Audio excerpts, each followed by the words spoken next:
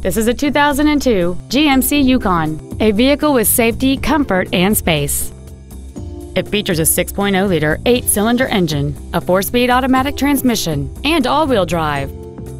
Its top features include memory settings for the seat's positions, so you can recall your favorite alignment with the push of one button. Third row seats, cruise control, 11 perfectly positioned speakers, leather seats, an air suspension, aluminum wheels, an anti-lock braking system, heated seats, and an anti-theft protection system.